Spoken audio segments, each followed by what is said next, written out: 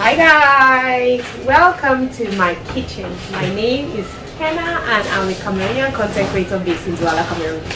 Okay, so since you guys, like let me not say since, it seems you guys love me in the kitchen. So I've decided to do more kitchen videos. So today we are going to have another cook and chat and we are going to be cooking njangsa sauce and miondo with plantain. Okay, let me explain. I'm going to be making miondo because all the kids love miondo. I love miondo. But my husband does not like miondo, so I'll be doing his with ripe plantain and then I will do mine without ripe plantain. Uh, I like it with both, but I want to eat miondo because I love miondo. So I'll go ahead and show you. Oh, before I forget, today we're going to be talking about correcting your child without beating them, without whipping them. Because some of us will be whipping our children. I'm laughing that you know that laugh when you, you laugh because you know that you are guilty of something. Yes, I am that mother who will whip a child without even thinking twice. I feel bad about it, but I'm that parent. So I will be sharing with you guys what I have done all these years to help me just stop beating them too much. How I basically how I correct them these days without whipping them, without all that. And please, you know how this goes. We're going to talk more. So please just come in the comment section. Let's be gisting. Let me be giving you my own things. And then you to come and give your own things that you do because yeah we learn from each other every day. Anyway let me go now and show you guys the spices. I start preparing the spices and then i feel like this thing is really singing on my hand. I don't know whether the mic is even catching it. But yeah we'll just go ahead show you the spices and we'll start here are our ingredients. We have amiondo and plantain there. We have njangsa over here. A lot of people like the dry njangsa but i personally prefer the fresh one over here. We have the rest of the spices that we're going to be using. Like do i really need to explain? You guys can see that we just have tomatoes onions leeks my favorite spice white pepper and just a few things lying there okay loves. Now that you have seen the spices normally you know me everything in the blender put it together that's like i feel like i have one way of cooking. So sometimes me doing like recipe videos i feel like it's boring. Start chopping the spices basically chopping my onions tomatoes garlic all the spices to put in the in the blender because i don't want to be seeing any spice. That's one reason why i blend a lot okay so let's talk about correcting your kids. If there's one thing that i always hated when i was single was just um, being in that situation where i see people's kids and i'm like now which can I pick in this which I pick in this? What's that picking mommy day you see? I always hated that. So one of my prayers was always like papa god i beg. I don't want to have that child that is a thorn to people's flesh. I want my kids to be those children that everybody's like oh they're so nice. They're so well behaved they're so good. But guys your children will disappoint you when it comes to that. Your children will make you mad. Your children will in short disgrace you basically. Disgrace you because your kids will be doing some things and sometimes you'll be looking at them and like after all this upbringing after everything that's not what we're talking about. We're talking about how i correct my kids without flogging them. Yes growing up in a cameroonian family i don't know. In my time if you grew up and they were not flogging you it means that consider you ajebo okay? Consider you ajebo as in soft life because they will whip us. They will whip us. But honestly guys i'm not going to come here and lie. Growing up my my mom and dad they barely hit me. Maybe i was a good girl. I don't know. But my parents hardly hit me. Honestly to be honest true to god my parents did not beat me. I saw my parents and people in my house beat the living daylight of my elder brother and my elder sister. I don't know. Keith and myself that's my kid brother and myself. I don't think hey guys see see see cwf I have to start going to the gym. My CWF is real. Look at that. Jai age okay, I oh. anyway yeah guys so that is it growing up i wasn't really one of those children that they whipped but i saw how my cousins my older cousins that stayed in our house would beat kevin see guys kevin that whole kevin that you're seeing him today like that kevin used to be the most troublesome child you have ever met he used to cause so much trouble so he was they used to beat him. Like they used to beat him up to the point that sometimes i go and stand and i'm crying and i'm like please leave my brother away. Leave brother. growing up now in our society today we have discovered that okay a lot of us are discovering let me not say we like everybody has. A lot of us are discovering that you see what i'm doing guys i told you in my last cook video in case you have not watched this your first video i'm just putting everything in the blender even the powder spices i'm putting everything in the blender except the maggi. I'll blend it it makes it easy. Jangsa for me jangsa sauce for me is one of the easiest meals to cook. There are different methods of cooking it obviously but i'll be using the simplest method today because i want to go to the how do you call it? How do you call that place? I want to go to for my tip appointment. I missed it last time so today. I want to go on time. Anyway so i have put everything. Let me go ahead and blend it and then i'll get back to you guys. At this point my miondo is already on the fire. Started boiling and then i'm going to go ahead and salsa sauce and we are going to continue. Oh my god this is a good thumbnail ah. the only thing now i'm going to add is my maggi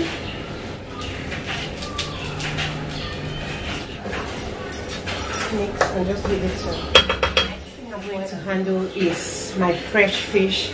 This is the bar fish i bought from Ukwe so this fish was so expensive. So I've been pampering it as in I don't want to cook just with anything. I'm just going to dump it in this bowl and salt it. That depends on what works for you. Me, I just want salt. People spice the fish like really spicy. Like, ah, Jesus. Some people real like real spicy. Then me, I'll just salt it a little bit yeah. And keep it in one corner. And I'm going to go ahead and blend the jansa okay. Which type of cook are you? Are you the cook who um are you that cook who prepares everything and just dumps it inside the pot and cooks? Or you're that person like me who is who, tries to manage time. You put the miondo as the miondo is boiling you. Put the tomatoes then you start grinding. Jansa which are you? Are you that person who likes to prepare all the spices then you take one put in the pot take one put in the pot? Or you're that person that you put tomatoes as tomato tomatoes is getting ready. You're turning fufu. You're doing which one are you? I'm the messy one. I'm i feel like my method um it takes less time. That's what i feel. What do you guys think? Okay guys. So the first thing um it's like the onions are really strong because it's getting into my eye. Anyway if i cry stop because i'm emotional it's because of the tomatoes. Anyway guys so um the first thing i'm going to talk about is the first thing i'm going to talk about when it comes to correcting your kids without flogging them it's just that you have to learn how to control your emotions. Trust me when i say kids will annoy you kids will break your expensive things things they are just kids. You cannot kill your kid because of ground property. You get so you just have to put it in mind that see as long as i have these people called kids in my house they will do and undo. It is just my place as a parent to control my emotions guys. This is one thing that i am struggling with. This is one thing that i'm struggling with. I've been struggling with. I'm still struggling with. I'll keep struggling with. But yeah just to control my emotions sometimes the kids would do something i don't i don't breathe and think to calm myself down. I just react like i just pull them and and trust me if you have that kind of temper it will be so hard for you not to flog your kids. Because at that point when the child has done something wrong the first thing that comes to your mind is wait i will do the bikini and the closest thing you have is obviously your hands you're going to use your hands. Or your shoe to whip the child okay? So you want to learn how to control yourself. What works for you? I'll tell you what works for me. For me what works for me is that when something happens when a child breaks something i just start counting from a 100 going down. By the time i get to like 80 i start laughing because i'm just like where?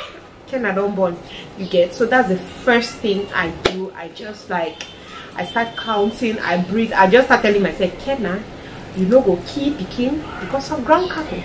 You get and that's that's the first thing i just start saying like i am not going to kill this child because of ground cattle. Like this is just it's just a perfume. It's just a chair. It's just property. This child is more valuable than all those things you get. That's the very first thing i think of like kenna you not kill this you not kill a child because of property the second thing which works like magic for Caden is the naughty corner. The thing I want to tell you here is we all have different kids and you have to figure out what works for for each child. Okay, we have to look, figure out what works for each child. For Caden, each time I put him in the naughty corner, Caden cries, he becomes calm. Like just leave him in the naughty corner for 15 minutes. Tell him stand. Actually, you put him at the corner at the corner of the house. He faces the wall. No moving, no nothing. He just stands there. Caden will cry. On days that he's being too naughty, oh, I feel like he gets tired. I tend to sit down in the naughty corner and he's facing the wall see guys this is something Kaden hates with a passion. Kaden will cry and beg you mommy I'll be the best son. I don't want to do this anymore. Mommy please. Mommy please. Like Kaden hates it. So I was like this is good because I have finally found the thing to punish this child with that makes him feel it. Because okay when you beat him he just frowns. He frowns and he's looking at you like hmm, so you whip me. But if you want to finish him send him to the naughty corner. But naughty corner will not be working for monique oh. monique is calm. Monique will be taking it's her yoga time. She'll be relaxing. There was one in myra myra feels it's a game. When i say everybody to the naughty corner myra is playing and laughing and she's just like oh my god this is so fun. So obviously i cannot do naughty corner with them. Okay? I cannot do naughty corner with monique and myra so what works more for monique is taking away something she likes guys I've been seeing what Monique does. I've been seeing only in movies, so American movies, where a child will be like, "Oh my blanket! I can't live without my blanket. I can't sleep without my blanket." Monique has this pink blanket that my sister got for her. At some point, people were like, "Monique, now for day I wish there because why are you walking with this blanket?" Monique walks with that blanket. When she doesn't see that blanket, she doesn't sleep. She went for a sleepover one time. I think the tomatoes are getting dry. So we went for she i sent her to a sleep for a sleepover at my friend's house. And forgot to take her blanket see monique by 6 p.m monique notices that her blanket is not there. Monique starts crying guys. She's crying. My baby because she calls it my baby my baby oh my baby sleeps with it. She does everything with it. Like she's in love with her baby. So she was crying my baby my baby. My friend had to call me and I, we had to carry the blanket to her before Monique could sleep. So she's really attached to her blanket she's carrying it to every part of the house. Sometimes when I wash it it's a problem because she comes and she's crying like I want my baby. So yeah guys that is something. You can take away your favorite toy. Yeah take away their favorite toy like if you are not going to be a good girl i'm taking away a blanket. Nightmare for monique. Just take her blanket and hide her baby. Monique will cry and cry and cry. Honestly i feel like myra is still too young for me to figure out what is going to hurt her. But yeah like a baby she doesn't like timeouts like don't talk to me. Just sit. Just like just go away. Just go to one corner. She'll cry cry cry. But yeah i can't say i figured out what i can do to make myra in particular to feel bad for what she has done and all that. But those are the two major things i do. So Kaden too likes tv so sometimes this can work. I'll be like okay i know your favorite channel is nicktoons. No nicktoons for you. No nicktoons for you till you act properly. Okay guys um let's go. It's time for me to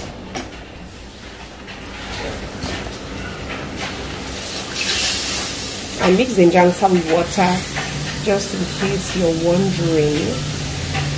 I used to use the um, frying method to cook everything. Where is the spoon, guys? I can't find the spoon I was using, so I'll go ahead and take another one. I used to use the frying method to cook everything, but after some time, I just lost interest in that cooking method. So now I do the mostly boil everything when it's dry. You add oil, add the spices, then get ready. And a lot of people sometimes when when they watch you cooking something and you're not cooking their method, a lot of people will diss your food, and I'm always just like, only people who don't have sense will diss something that they have not tasted sometimes you could legit feel like your own method to cook something is the best method till you try the next person's method, okay? So each time I see people cooking and putting strange spices in, in meals that I don't understand, I never diss them. I'm just like, okay. I try. If it looks interesting enough to me, sometimes I'm like, okay, I'm going to try this. Maybe this is something that I've been missing out on. Okay, so yeah, that's what I've done here. I just you guys can basically see I'm going to go ahead and taste it to ensure that everything is just okay. Mm, I think it needs a little bit of salt. Just like a pinch of salt. And I'm good to go. Okay. So yeah guys. I'm going to let it boil now and round up our chat.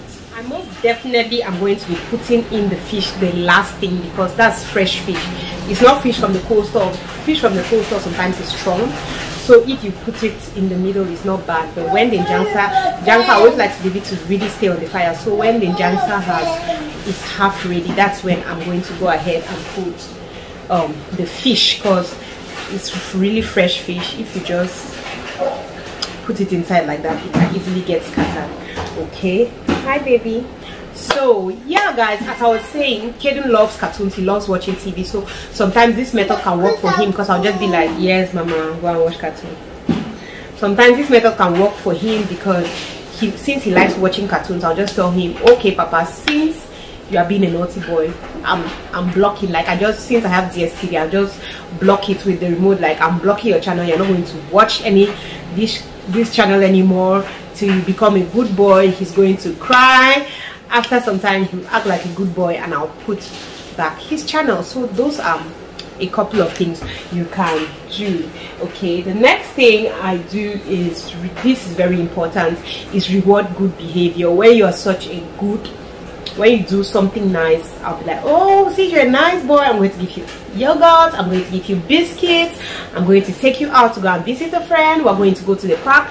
Like i just try to reward good behavior so that they know that when you act poorly it has negative consequences.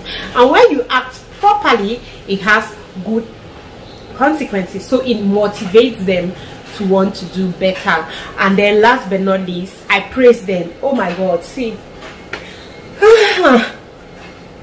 this one sometimes I'm, I'm like my kids hype hype woman. I'll be hyping out like ah ah bobo ah! Is this my bobo or somebody else's bobo? So my bobo can can can eat and go and keep his plate like this. Good boy so bobo ah you don't want to cry like that. Oh good boy. Yeah, yeah my best baby. Like praising them when they do something right? Like especially a chore. I praise them. When they do a chore and i praise them you see money is like mommy i want to do mommy i want to do too i want to do too. So they try to do the good thing because they see that you're basically praising them again. But if you don't praise them you're always like no bacha this one that one that one. Mm the child it, it, doesn't motivate the child it doesn't make the child feel like there's any there's a difference between doing good or bad thing if you never praise. Because growing up in most african homes most parents never praise their kids. When a kid was doing a good job a lot of our parents would not praise us. I, I cannot remember i'm not going to come here and lie that my mother praised me or my mother did not praise me. I cannot remember whether they did or did not praise me but i know that in most african homes growing up some parents will be like if you praise this child the child's head will swell the child will start acting up and all that. But i don't believe that. I praise them. I make them to know that you are good at this. It, because it also builds their confidence. Anyway guys these are just the way i try. Like for me all these other things are simple except the part to regulate your temper. I'm not going to lie.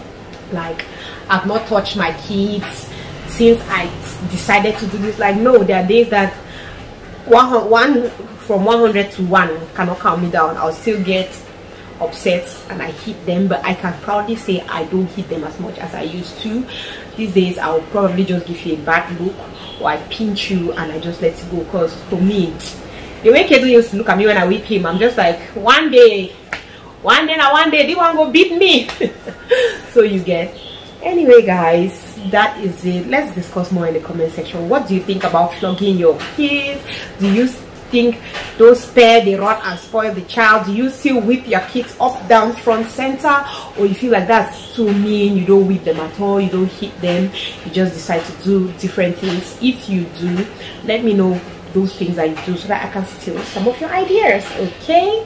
And if you're watching and you're reaching this point what is the problem with you the problem with you please go and subscribe. Anyway guys there you have it. I'm just going to wait for a while.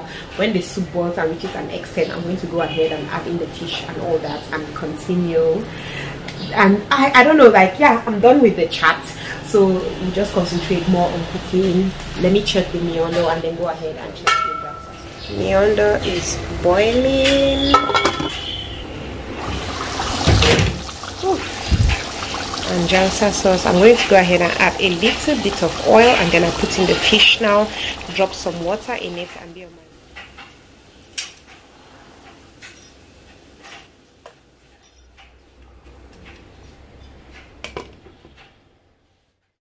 So this is anjangsa and fish sauce with miondo. Yes guys, I only made my husband's plantain when he came so that's why you'll not be seeing it here but yeah this is how it looks and it tasted so good. Let me know what you think in the comment section. Please subscribe if you haven't yet. Thanks so much for watching and i'm going to see you on the next one. Love you